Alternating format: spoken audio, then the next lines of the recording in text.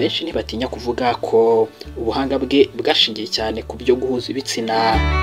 Sigmund Freud ni umwe mu bantu bazwi cyane kandi bagize uruhare rukomeye mu mitekerereze y'ikinyejana cya makumyabiri. Freud yari umuvuzi w'utunyangingo tw'ubwonko cyangwa se neurologist. Yari umuhanga w'umuyahudi wavutse mu mwaka w'igihumbi kimwe magana inani mirongo itanu na gatandatu. Uyu nguyu akenshi benshi bamwita sekuru wa psychology y'iki gihe. Isomo ryiga imitekerereze n'imyitwarire ya muntu. Freud yahinduye cyane uburyo twumva kandi dukemura ibibazo by'ubuzima bwo mu mutwe. Freud yashinze uburyo buzwi nka psychanalyse cyangwa se psychoanalysis kugira ngo ijye imufasha kumva neza imizi y'ibibazo by'abarwayi bamuganaga ndetse binamufashe kumenya neza uko imitekerereze yabo ikora. Ubu buryo bwa psychanalyse yahimbye buracyafite ingaruka nyinshi mu buvuzi bwo mu mutwe kugeza n'ubu ngubu. Inyigisho za Freud zifite akamaro kanini cyane ariko zagiye zinengwa cyane muri iki gihe ndetse no mu buzima bwe. Nubwo ariko bimeze ibitekerezo bye byashoboye kumenyekana mu muco wacu. Ni ibitekerezo nka Freudian sleep repression ndetse na denial. Ibi ngibi bikaba bikunze gukoreshwa cyane mu mvugo zacu umunsi ku wundi. Mu nyigisho za Freud harimo ubwenge bwo mu bwonko utoroshye gusobanukirwa. Ibyo yise unconscious mind. Iyi ngiyi ni imwe mu nyigisho ze zikomeye cyane. Aho avuga ko ubwenge ari ikigega cy'ibitekerezo imibereho n'amarangamutima bitari mu bwenge bugaragara cyangwa se nyine ibyo agereranya nka conscious mind. Mu zindi nyigisho harimo nka kamere muntu aho Fred yavuze ko kamere muntu igizwe n'ibice bitatu by'ingenzi ego ID ndetse na super ego. Ego ni njyewe. Iyi ngiyi ikaba irimo ibintu bitwerekeyeho kandi twibuka. Naho ID ni ibyifuzo byanjye. Ni imitekerereze y'ibanga yiganjemo iby'irari ryacu. Naho super ego ni igishushanyo mbonera cy'imyitwarire. Indangagaciro ndetse na kirazira by'umuntu.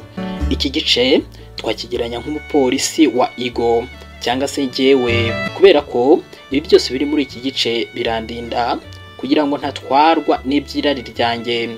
Bibarizwa muri cya gice kindi twabonye ari cyo ID mu zindi nyigisho za Fred hariho ibiriho bishingiye ku buzima n'urupfu. Ibyo yise life and death instinct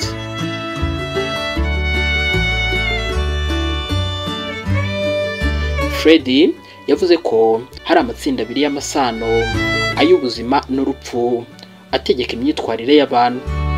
Amasano y'ubuzima arimo kongera abantu ibyo yise sexual procreation.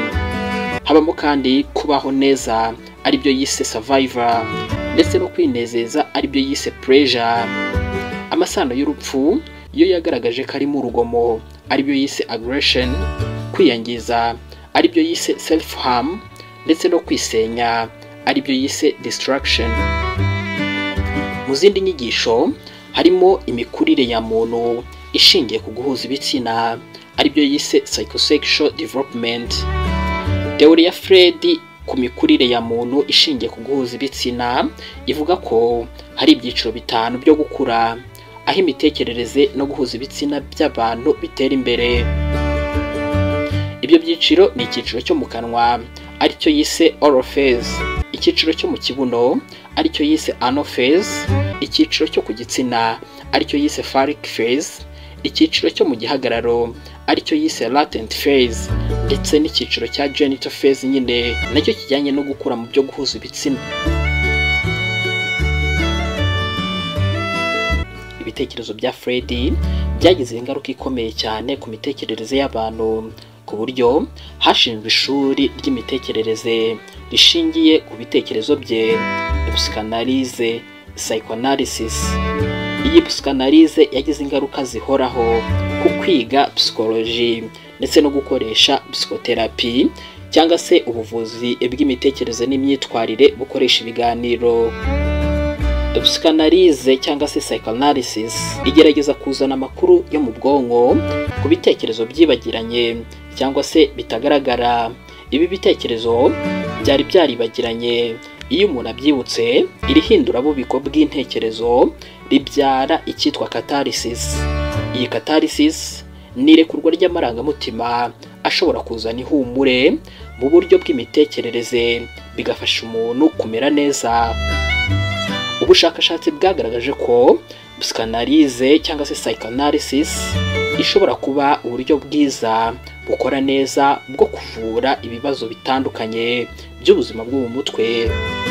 Kwiga ubwawe na byo bikubiye muri ubu buvuzi bishobora gufasha abantu kugera ku iterambere rirerire. Fred yubakiye ibitekerezo bye ku bushakashatsi yagiye akorera ku barwayi be ndetse n'ab'inshuti ze.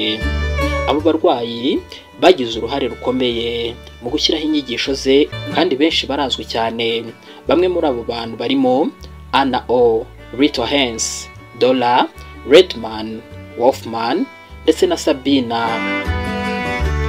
Anna O ntiyari umurwayi wa Fred ahubwo yari umurwayi w'inshuti ye Joseph Billo aba bagabo bombi bakundaga kuvugana kenshi ku bimenyetso bya Anna. Baje kwandika igitabo Studies on Hysteria. Iki gitabo cyari gishingiye kuri kesi ya Anna.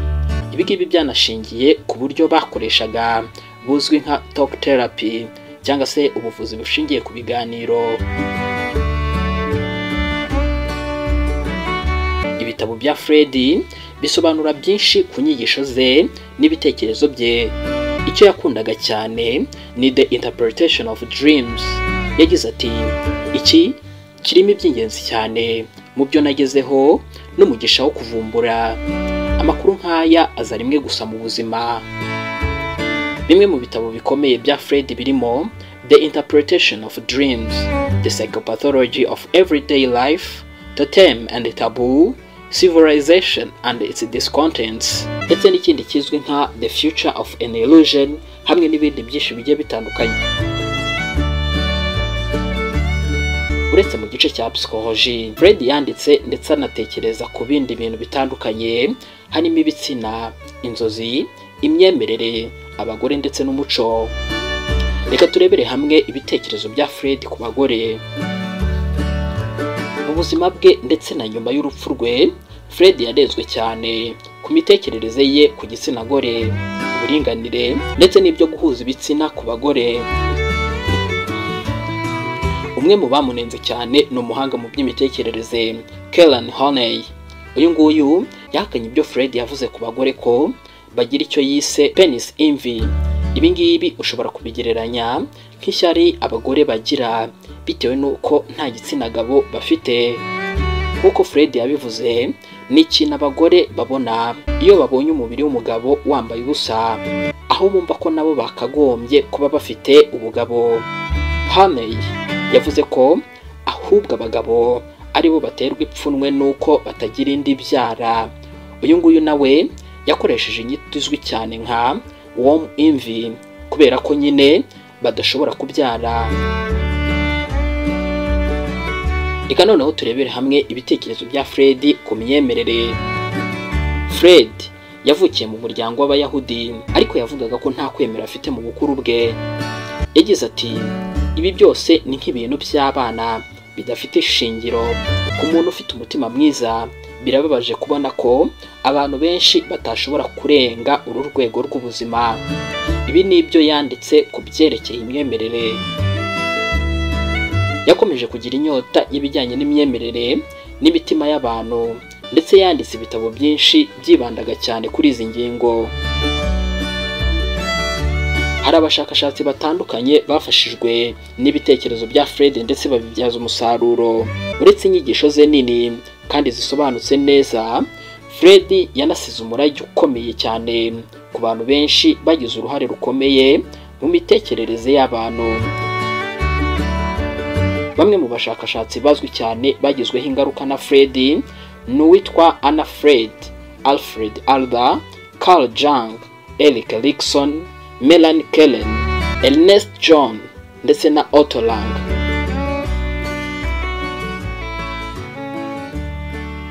Nubwo inyigisho za Freud zifite impaka zikomeye muri iki gihe ntihakemangwa ko yagize uruhare rukomeye ndetse runini mu mitekerereze y'abantu no mu muco w'abantu muri rusange inyigisho ze nyinshi zamenyekanye ku buryo rimwe na rimwe tubyibagirwa ko zifite inkomoko mu ntekerezo ze. Mbese za Fred? Ndimo ngana ku musozo.